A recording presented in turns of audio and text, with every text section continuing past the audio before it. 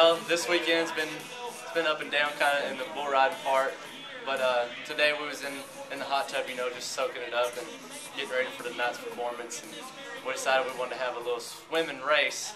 And uh, so one of my buddies, we take out swimming, and his shoulder falls out, and so now he's still in the hospital, and that sucks for him.